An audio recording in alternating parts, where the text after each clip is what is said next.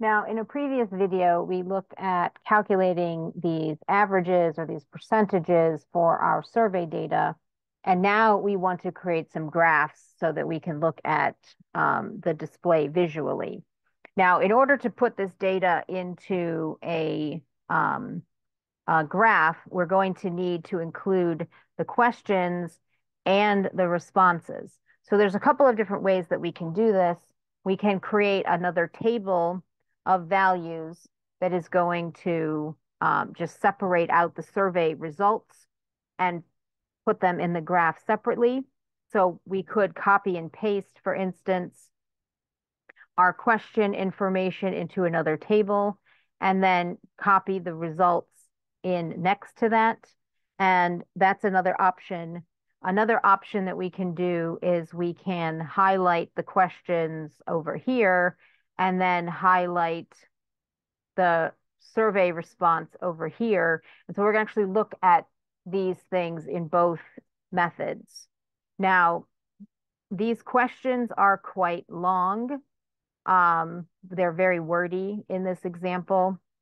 And so you may also just want to consider like summarizing them so that you don't have the entire question on the graph because the fact that these questions are so long will make them more difficult to display. Uh, but let's start with some of our options. So just starting with the, um, the scale survey data. Let's suppose I hit uh, control and then I highlight this column. This is going to be column number one. This is going to have the questions in it. And then over here, I'm going to have column number two highlighted, which is going to be, again, hit control to highlight both columns simultaneously. Um, this is going to have the response data. Now, if you go then to recommended charts, um, sometimes this is not going to come up exactly the way that you had intended. Um, in this case, um, there's because we merged some of those cells, um, this is going to look a little weird. Um, so sometimes you don't actually have all of the options that are available to you. Um, if you don't uh, merge cells, then usually this will work a little bit better.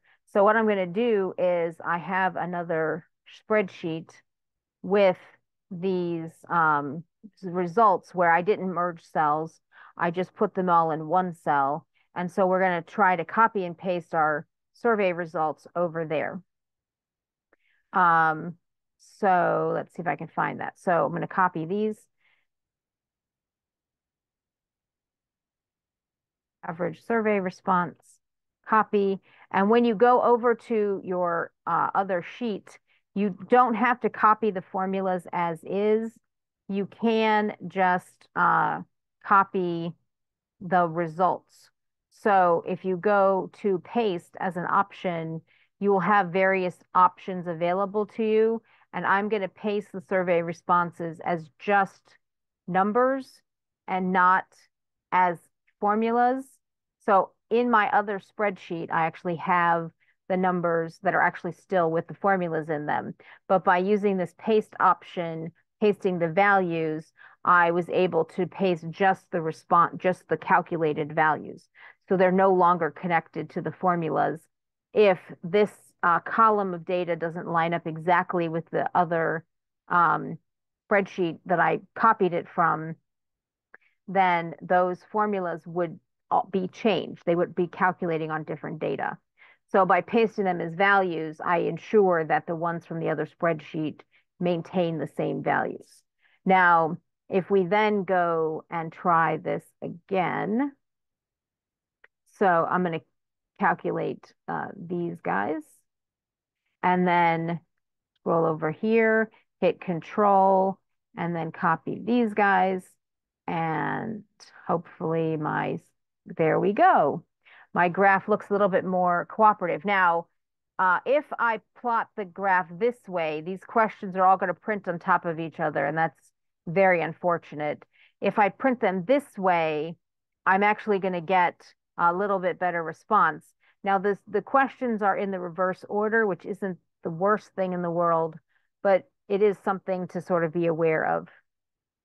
Now, if I move this over here, uh, you should never leave your graph sitting on top of your data.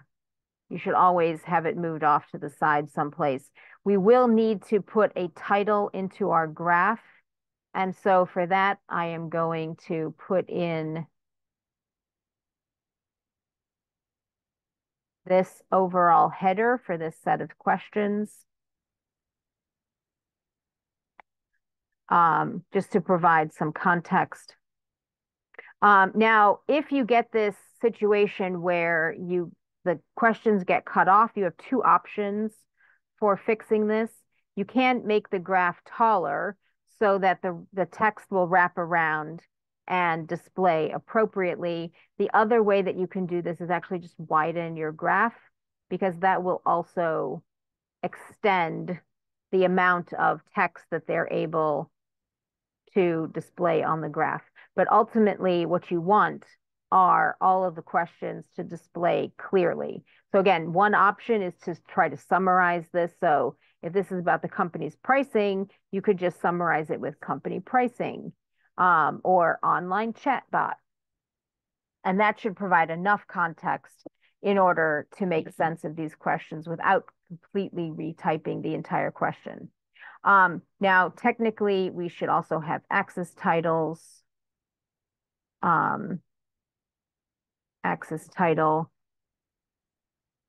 call this average response. And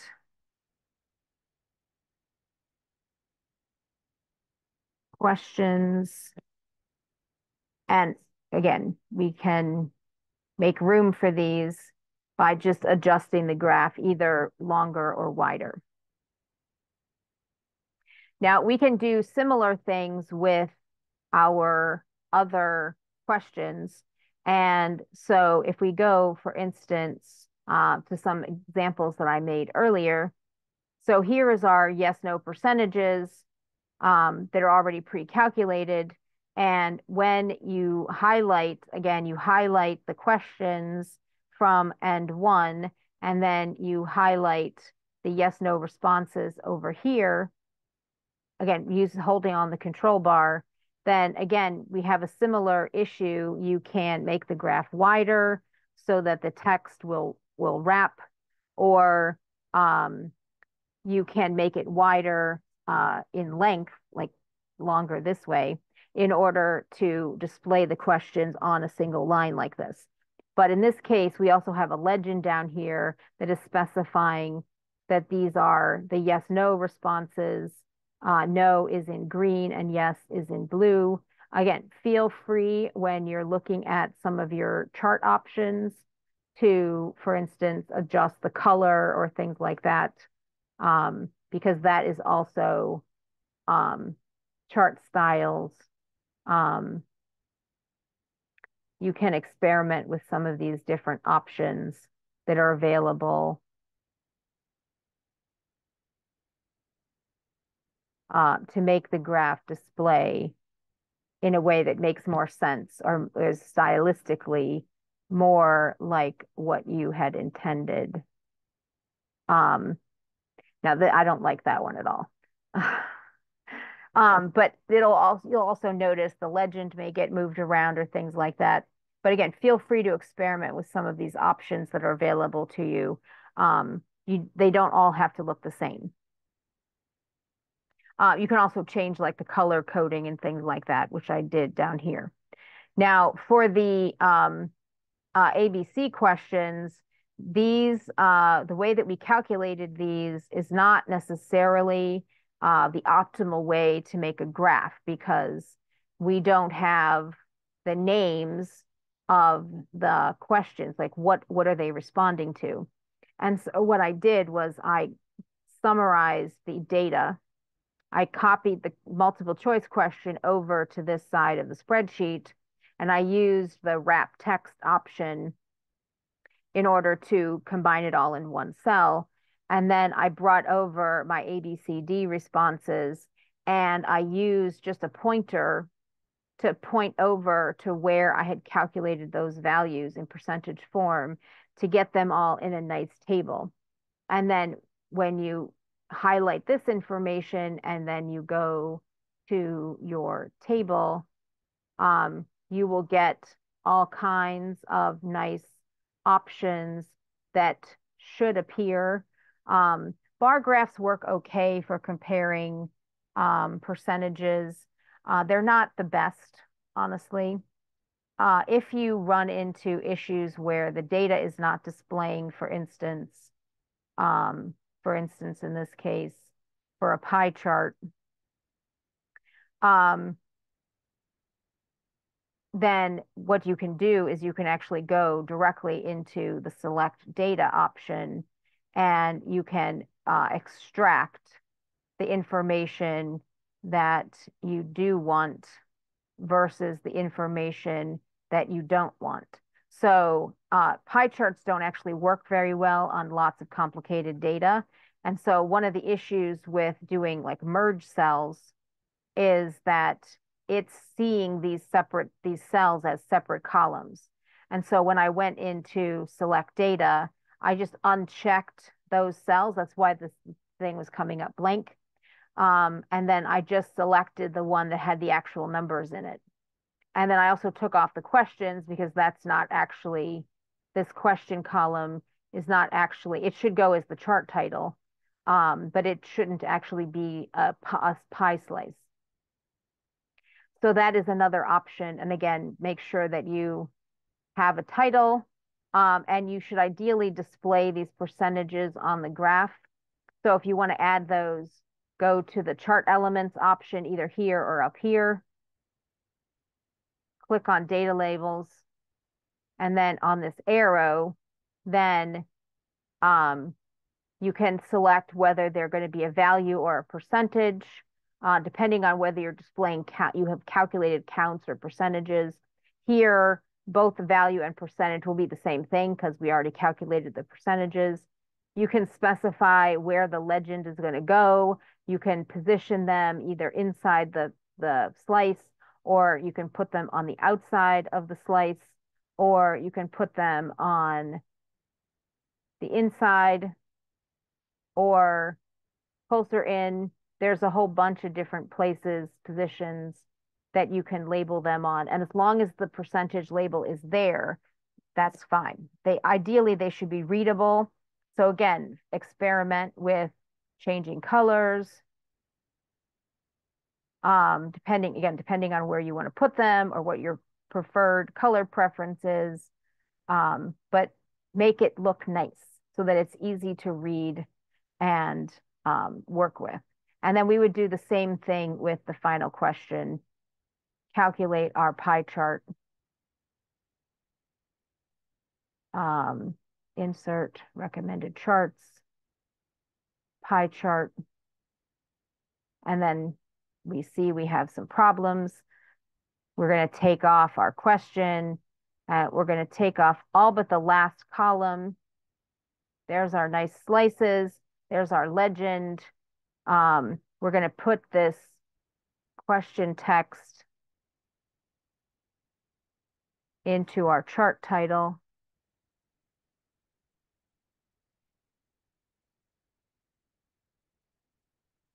We're going to display our data and that text color is very hard to read against those background colors. So we can change the style.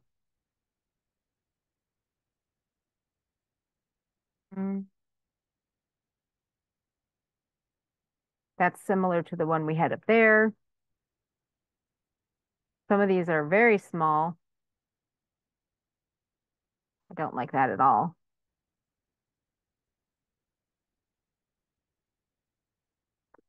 Uh, if you're going to put the labels on there, you don't really need the legend. So again, don't don't over clutter this too much. I think probably this one is still the one I like the best, maybe.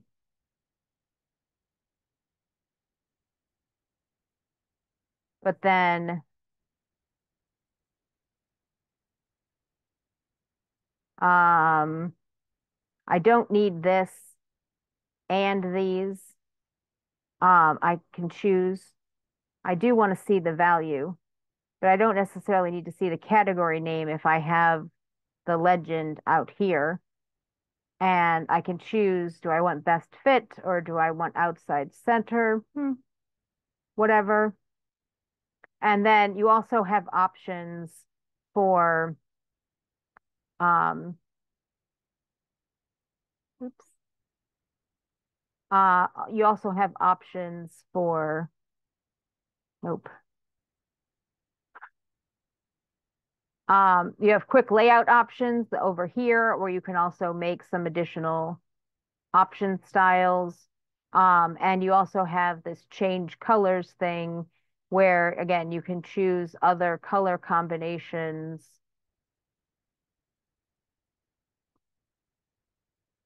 that maybe are more suitable for your taste.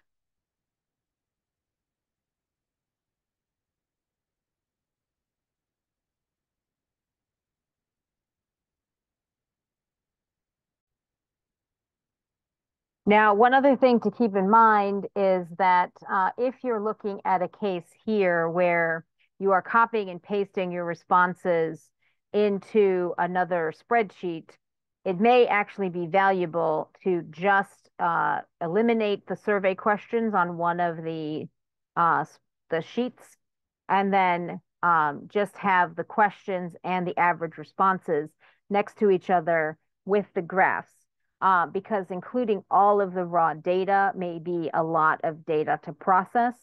And so it may be better to have, say, the raw data on one sheet where it's all pretty and color coded and it's all laid out very nicely. And then on another sheet, um, have the just the questions and the summary responses, and then plot the graphs next to it so that you have uh, different kinds of visual information on different pages. When you include all of the information on the same sheet, it can be quite cluttered and overwhelming um, and it's difficult to see all of the information all at the same time.